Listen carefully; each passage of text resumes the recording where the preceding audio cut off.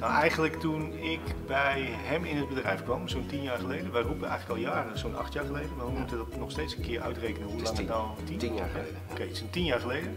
Ehm, omdat we elkaar op inhoud vonden. We zijn al twee IT'en. Ehm, van oorsprong zeg ik dan maar. Dus daar ligt onze opleiding, daar ligt onze werkervaring. Maar ergens hebben we besloten om maar vooral met mensen bezig te gaan en niet met technologie. En eh, eh, we hebben elkaar eigenlijk gevonden toen ik bij hem kwam werken in het bedrijf, in het IT-bedrijf.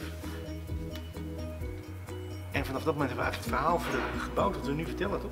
Ja, we zijn vooral geïnteresseerd in klanten en hun eh, problematiek. En we proberen dus van buitenaf naar binnen te redeneren in plaats van van binnenaf naar buiten. Zoals veel bedrijven doen. En dat maakt ons denk ik wel krachtig.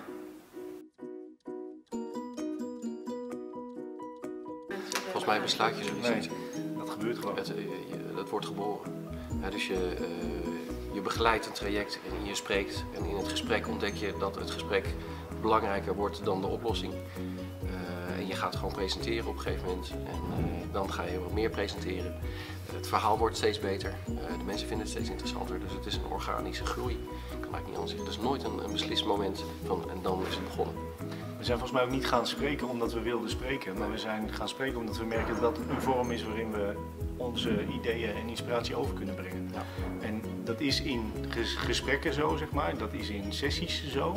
Eh, dat is omdat we audiovisuele materialen maken, zeg maar, om dan de boodschap over te brengen. Dus het is niet een doel, maar het is gewoon een middel. Ja. En daar kunnen we ons geld mee verdienen.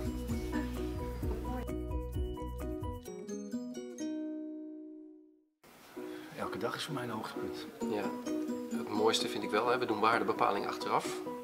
Eh, de eerste keer dat we een bedrag toegekend kregen dat boven de bovenkant van de bandbreedte lag. Oftewel dat de klant tegen jou zegt, gezegd met zo'n grijns Ja. van wij vinden het veel meer waard als dat jullie eigenlijk in die bandbreedte eh, weergeven. Dat moment, dat kan ik me nog goed herinneren. Daar ben ik echt wel van onder de indruk eh, geweest. En dat is nadien nog wel meer en vaker voorgekomen.